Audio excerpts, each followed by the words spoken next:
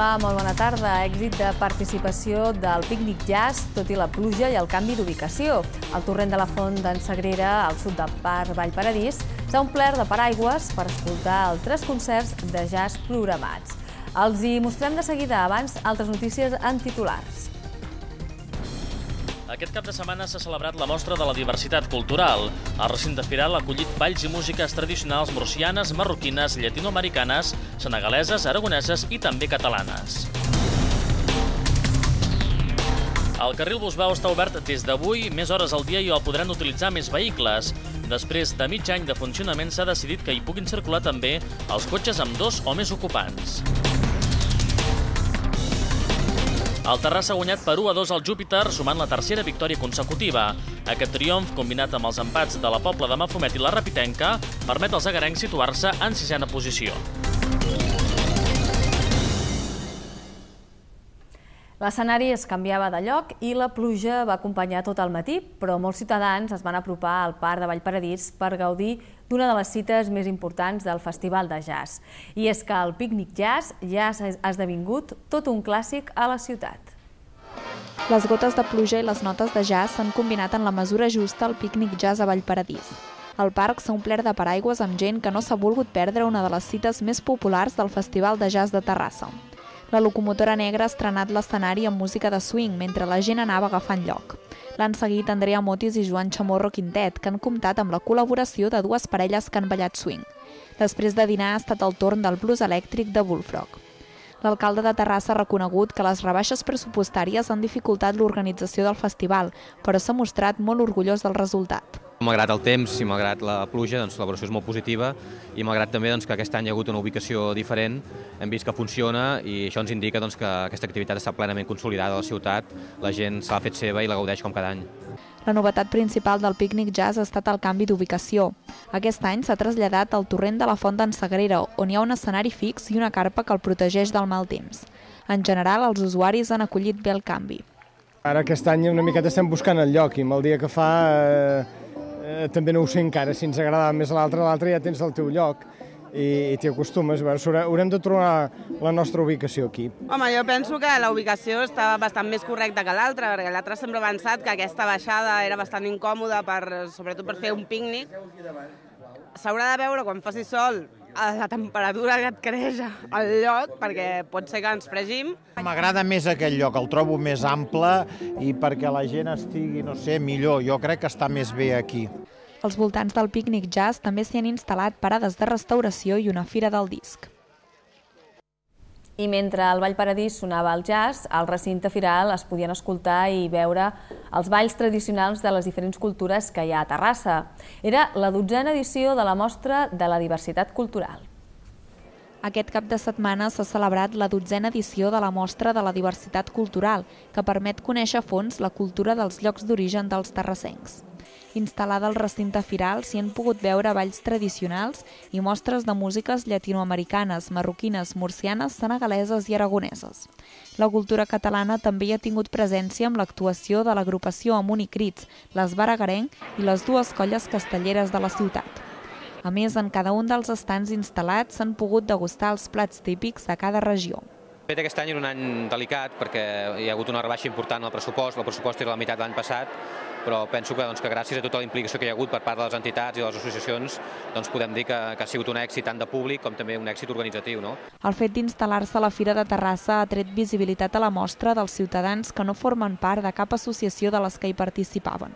La majoria dels visitants han estat els membres de les pròpies entitats eh, se solucionaria molt fàcil portant la mostra al carrer, que la mostra vagi a buscar la gent, que es pogués fer a l'aire lliure. El problema és que sempre s'ha fet a la primavera, és una època complicada per les pluges, però és evident doncs, que, que hem d'iniciar un procés de reflexió conjunt amb les entitats i si a partir d'aquí doncs, la conclusió és que la mostra ha de sortir al carrer i s'ha de fer a l'aire lliure, doncs endavant, ho farem. En l'edició d'aquest any s'han convidat les ciutats de Valdelinares, a l'Aragó, Tierra de Caballeros, Tablas de Daimiel, de Castella-La Manxa, Caravaca de la Cruz, a Múrcia, Finyana, Andalusia o Barco de Valdeorras, de Galícia, la ciutat marroquina Casar el Quebir, la comarca de la Serena, Extremadura, el Senegal i Brasil. L'acte de Cluenda, presentat per l'alcalde de Terrassa, Jordi Ballart, ha comptat també amb l'actuació final de la pianista Carmen París. El Bicicleta Club de Terrassa i la Policia Municipal han organitzat aquest cap de setmana un curs per guiar ciclistes a la ciutat. De moment s'ha adreçat només a membres de l'associació, però la intenció és fer més sessions obertes a tothom.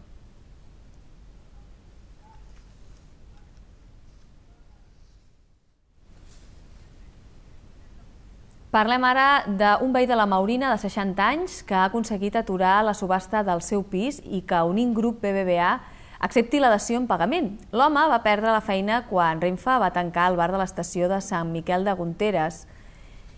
Um, després va de perdre la feina, ara es manté amb la seva dona, amb la pensió de la seva dona, que té fibromiàlgia i depressió. Un veí de la Maurina, Sebastián Hidalgo, de 60 anys, ha aconseguit que el banc paralitzi la subhasta del seu habitatge prevista per aquest dimarts i ha arrencat un compromís d'atorgar-li la dació en pagament. La notícia la comunicava Carlos Segura, vocal de l'Associació de Veïns de la Maurina, als membres de l'entitat i altres ciutadans que s'havien congregat a les portes de la sucursal d'Unim Grup BBVA. Subhasta de mañana se ha, se ha parado, ellos mismos la la han parado y esta mañana hemos arrancado un compromiso de dación. Quedará en la dación. ¿vale? Nos han pedido una serie de documentos para actualizar la dación que ya entreguemos hace cuatro meses sí. y se han comprometido a dar la dación a Sebastián. Vale. ¿vale? Si el, el compromiso este es falso, ya se lo he dicho a, al señor director, que volveremos con más fuerza. Quan Sebastián Hidalgo arribava dels jutjats, els seus veïns el felicitaven. Ahora de momento hemos conseguido la, eh, parar la subasta, porque me la subastaban mañana, el día 19. Entonces ahora esto a hacer los esfuerzos que podamos para hacer la narración de pago. La regidora delegada de Ciutadania, Drets Civils i Polítiques Socials d'Habitatge, Lluïsa Melgares, ha volgut conèixer la resolució del cas de primera mà. Hidalgo i la seva dona, Pilar Chamorro, viuen al número 284 del carrer Núria, al pis segon A, des de fa uns 6 anys. Tenen una hipoteca de 158.000 euros. Ell regentava el bar de la Renfa de Sant Miquel de Conteres. La companyia ferroviària va decidir tancar l'estació i es va quedar sense clientela. La seva dona té fibromialgia fibromiàlgia i depressió. Viuen amb la seva pensió de 570 euros mensuals. El matrimoni fa 11 mesos que no pot pagar la quota. El seu fill els hi va avalar. Si la dació es formalitza, l'avalista també seria alliberat. Recuperem ara la notícia que els dèiem, els comentàvem abans, sobre els cursos de conducció per poder guiar ciclistes a la ciutat. Uns cursos que es van fer divendres i dissabte, organitzats pel Bicicleta Club de Terrassa i la Policia Municipal. Per anar en bicicleta no es necessita tenir cap carnet, però per guiar un grup de ciclistes per la ciutat és important conèixer les normes de circulació i els senyals. És per aquest motiu que el Bicicleta Club de Terrassa i la Policia Municipal s'han posat d'acord per fer un curs de conducció de ciclistes aquest cap de setmana. Les 18 persones que hi han participat han obtingut una titulació signada per l'intendent de la policia que ha instruït el curs. Doncs aquest curs és com una prova pilot. Ho hem fet només internament entre els habituals de, de l'associació i a partir d'aquí farem una valoració i en farem una altra ja públic per tothom. O sigui, la, la idea és que qualsevol persona de forma gratuïta es pugui apuntar i tingui l'habilitació per poder guiar grups, ja sigui de la seva colla, la seva associació de veïns, els seus amics, eh, que, que hi hagi molta gent habilitada perquè cada cop hi hagi més i més grups de ciclistes als caps de setmana a, a descobrir la ciutat. El curs consta d'una part teòrica que s'ha ensenyat al Centre de Control de Via Pública divendres al vespre i una part pràctica realitzada dissabte al matí al recinte de l'antic Mercadal. Allà els participants han après com regular el trànsit, com frenar els ciclistes en una cruïlla o com fer reprendre la marxa. Aquests coneixements els han aplicat després en un circuit per la ciutat. Gairebé mig any després de la seva entrada en funcionament, a partir d'avui, el carril Busbao de la C58 estarà obert durant més hores i el podran utilitzar vehicles amb dos ocupants. Uns canvis que el govern ha decidit aplicar per potenciar l'ús i millorar el rendiment de la infraestructura. Així poden passar pel carril Bau els turismes amb dos ocupants, en comptes de tres, com fins ara. A més, estarà obert més hores al dia, de 6 del matí a les 10 de la nit en sentit Barcelona, ja que és on s'ha detectat que hi ha més retencions. Els divendres a la tarda, però, sortirà de sortida, s'obrirà de sortida i els caps de setmana en funció de les necessitats del trànsit. 150.000 vehicles passen cada dia per la C58. Fins ara la utilització del carril BAU era del 3%, és a dir, de 4.500 vehicles diaris. Amb els canvis introduïts s'espera doblar-la fins al 6 o al 7% i que en passin més de 9.000.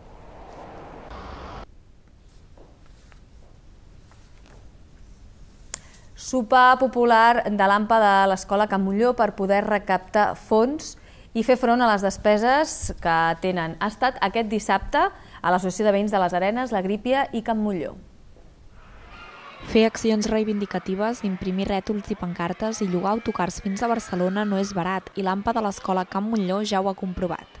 Des de les últimes jornades de vaga necessiten finançar-se i ho han fet organitzant un sopar a l'Associació de Veïns de les Arenes, la Grípia i Can Montlló dissabte al vespre. Els adults han pagat 5 euros pel menjar i els nens dos i mig, i les llaunes de begudes es venien a part per un euro. En total han venut prop de 190 tiquets. És un sopar una mica popular amb la intenció de recaudar diners perquè bueno, les reivindicacions ens hem adonat de que som cares.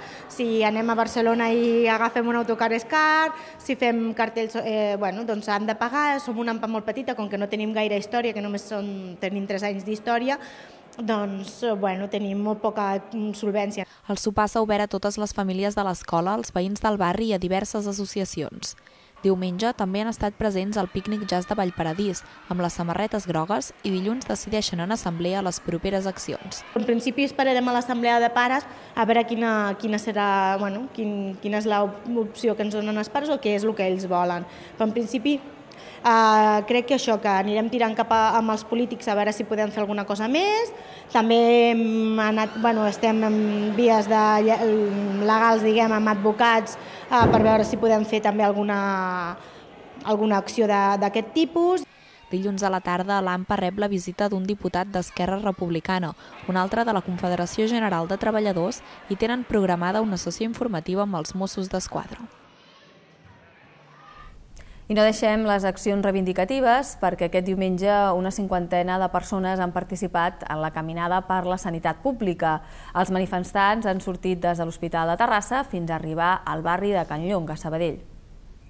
Una cinquantena de persones, professionals sanitaris i usuaris, han participat diumenge al matí en la caminada per la sanitat pública que sortia des de l'Hospital de Terrassa. Els manifestants han fet un recorregut de 4 quilòmetres fins al barri de Can Llong, en un espai on s'hi hauria d'haver construït un ambulatori i on s'han trobat amb el grup provinent de l'Hospital de Sabadell. Segons els treballadors de l'Hospital de Terrassa, les retallades previstes en el pressupost del 2013 augmentaran la càrrega de treball del personal, ja que no es cobriran les suplències, provocaran un retard en els diagnòstics i afectaran a la disponibilitat de llits i a l'espera en ambulatoris i per operacions quirúrgiques. Les retallades que s'han fet en sanitat durant els dos últims anys ja han tocat os, com, com es diu a, des del sector sanitari, i que no es pot fer cap retallada més, que ni un euro més. Eh, la preocupació és, és bastant perquè si fan la doble de retallades suposem que són més, eh, augmentar llistes d'esperes, tancar dispositius sanitaris, inclús possibilitat d'algun copagament. La plataforma en defensa de la sanitat pública del Vallès també ha exigit que es faci públic un informe intern que promou la privatització dels hospitals públics de Catalunya i ha mostrat el seu rebuig a qualsevol forma de privatització. Campalet és el primer barri de Terrassa en celebrar la seva festa major. Ho fa des del dia 9 de març i acabarà demà amb una missa i un sopar de germanor. Aquest cap de setmana hi ha hagut activitats per a tots els gustos, festes infantils, concerts, teatre, balls i trobades gastronòmiques. Ahir el carrer Colom va ser l'escenari de la Rambla Jove, on es van donar cita a una bona colla d'associacions juvenils. A primera hora del matí, els participants van rebre la visita de l'alcalde, Jordi Ballar, acompanyat del regidor del districte 3, José Manuel Jiménez. Les parades mostraven diversos productes elaborats pels mateixos joves a les seves associacions. L'espai solidari va ser un punt de recollida d'aliments.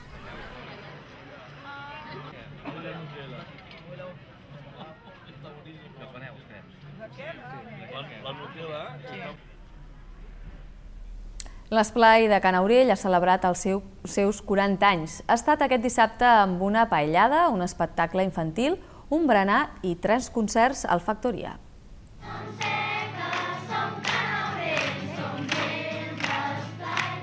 Amb aquesta cançó, composada per l'ocasió, l'Esplai de Can Aurell ha celebrat els seus 40 anys. La pluja imprevista de dissabte els ha obligat a fer alguns canvis i els actes principals els han traslladat a l'Escola Vedruna. Al migdia han dinat tots junts en una paellada replegada sota els porxos de la Masia Freixa.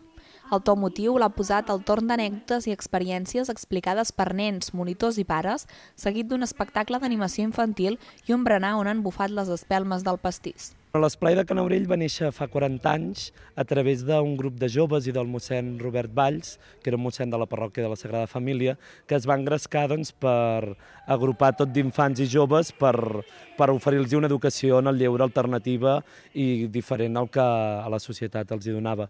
Llavors, al llarg d'aquests 40 anys han passat molts monitors per l'esplai, molts pares, molts infants, i que cadascú ha anat aportant una mica el seu granet de sorra fins a arribar al que som ara. Dissabte a la nit, tres concerts a la Sala Factoria d'Arts han posat fi a la commemoració. L'esplai de Can Aurell el formen més de 90 infants i una vintena de monitors que organitzen diferents activitats cada dissabte de 4 a 7 de la tarda. Cada any participen també a la Rua Infantil de Carnestoltes i fan una marxa fins a la Roca de Muntanyola, la seva casa de colònies. Aquest dissabte s'ha inaugurat al Mercat de la Independència l'exposició La col brutonera, una aproximació etnobotànica i organolèptica. En el transcurs de l'acte s'ha fet entre els assistents i els clients del mercat un tast de diferents brotons i espigalls de col. L'activitat forma part del projecte de recuperar la col brutonera que han degat les fundacions Miquel Agustí i Sant Galderic. La col brutonera és una varietat local que es cultivava a Terrassa i altres indrets de Catalunya i que pot convertir-se en un nou producte emblemàtic, de fet, la seu de la Fundació Sant Galderic acollia la setmana passada unes ponències, les quals van fer un repàs a la història i estratègies de recuperació d'aquesta col. Aquesta de 500 anys, oi? Aquesta de 500.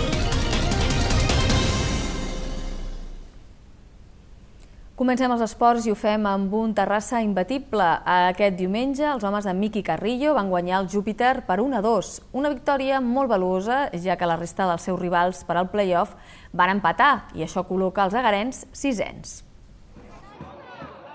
El Terrassa continua imparable i aquest diumenge ha derrotat per 1 a 2 al Júpiter, sumant així la tercera victòria consecutiva. El play-off, però, continua a 5 punts perquè el Manlleu no va fallar a Balaguer. La primera part ha estat de domini per als locals, els que fins i tot l'àrbitre els ha anul·lat un gol, però s'ha arribat amb empat a 0 al descans. Al segon temps s'ha mogut el marcador. Un penal d'Isra a Jordi Roca en el minut 54 l'ha transformat Pugui en el 0 a 1. El Júpiter ha empatat 3 minuts més tard amb un cop de cap del mateix Isra, però Pugui s'ha tret un xut imparable des de fora de l'àrea que ha significat l'1 a 2. Miguel Ángel, amb les seves aturades, ha permès que el seu equip s'acabés emportant els 3 punts. El Terrassa rep diumenge al Palamós. El Sant Cristóbal no va poder emular el Terrassa i després de set partits sense conèixer la derrota, ahir va perdre per 1-2 contra el Masnou al municipal de Can Anglada. Rubén, a dos minuts per al descans, va neutralitzar el gol del visitant Marc Galar. El partit va ser molt obert al segon temps, amb ocasions de totes dues porteries. En, els parroquials a pilota aturada van tenir les millors oportunitats per marcar, però en un error defensiu dels de Rafa Bermejo va permetre a Siurana aconseguir el gol de la victòria en el minut 85. El Sant Cristóbal es va volcar a l'atac en els darrers 5 minuts. Fins i tot el porter Dani del Río va pujar a rematar els córners, amb els agarens, però els agarens no van poder aconseguir el gol de l'empat. Tot i la derrota, el conjunt de Bermejo continua 4 punts per sobre dels llocs de descens. Cuajar mal o buen partido siempre depende del rival, ¿no? Yo teníamos delante un rival que, que está ahí por, por méritos propios. Eh, pero el equipo ha dado la cara y yo creo que hemos estado mejor que el rival porque sinceramente hemos generado más ocasiones que ellos. Lo que pasa que la diferencia es que nosotros las ocasiones que hemos generado no las hemos metido. La realidad es que hoy, como quien dice, media jugada, porque la primera ha sido una jugada de estrategia ofensiva, nosotros hemos estado mal, pero con esa y con la media jugada última que ha sido un cúmulo de, de fallos o de situaciones que no son normales, pues han conseguido llevarse el triunfo. Al final lo que vale son los que marcan los goles, ¿no? I en hoquei masculí victòria de la Gara contra el Club de Campo, un resultat que col·loca els terrassens segons a la divisió d'honor masculina. L'Atlètic també ha guanyat i continua quart, derrota però del Club Deportiu Terrassa contra el líder, el Polo. La victòria per 2 a 5 de l'Egara al camp del Club de Campo ha estat sens dubte la gran sorpresa de la 18a jornada a la divisió d'honor masculina d'hoquei. Els del Pla del Bonaire es col·loquen segons. L'Atlètic quart també ha aconseguit el triomf a domicili per 1 a 2 contra el júnior. Un marcador enganyós per a la gran quantitat d'ocasions dels terrassencs. Jordi Carrera, de penal córner, ha fet el 0 a 1 als 3 minuts. El segon s'ha fet esperar fins al minut 33, quan Iñaki Freixa ha connectat un fort xut. A la represa, els de Roger Pallarols han pogut golejar, però no han estat encertats de cara a porteria. Els santcugatencs han retallat distàncies a 3 minuts pel final i fins i tot han disposat de penals per empatar. És un partit que acabes patint i a la reunió que hem fet ara amb els jugadors els felicito perquè hem fet el, fora de casa el millor partit de la temporada. És una mica eh, esperpèntic, però ha sigut així. Jo penso que no exagero si dic que hi ha hagut, eh, sobretot a la segona part, eh, 7, 8, 10 ocasions de gol claríssimes, a més a més. La golejada de la jornada ha estat per al Club Deportiu Terrassa, que ha perdut per 8 a 0 davant el líder, el Polo. El conjunt de Marc Barratxina, que es presentava a l'Eduardo Dualde amb pocs efectius, no ha tingut opcions contra els barcelonins. Divendres vam jugar contra l'Atlètic i, evidentment, el no tenir tots els jugadors disponibles i hi ha gent molt carregada de minuts, eh, bueno, a la segona part hem, hem baixat, no? i quan hem baixat doncs, ells han seguit mantenint el nivell que tenien i ens han passat una mica per sobre durant uns minuts. La salvació per a Terrassa està ara a 5 punts, a falta de 4 jornades per acabar la Lliga regular. I en waterpolo, cinquena derrota de la temporada per a l'equip masculí del Club Natació Terrassa. El conjunt de Dani Nar va perdre dissabte per 7 a 6 a la piscina del Club Natació Barcelona, el seu màxim perseguidor. Una gran primera meitat dels cenavistes va ser clau en la victòria, perquè al descans ja guanyaven per 3 gols de diferència, 5 a 2. Tot i que els agarens van reaccionar a la represa, es van quedar a una sola diana d'aconseguir com a mínim un punt. La derrota no fa perillar la tercera posició del natació, tot i que els de NAR veuen com Atlètic Barceloneta i Club Natació Sabadell es distancien en la classificació a falta de tres jornades perquè acabi la fase regular de la Lliga.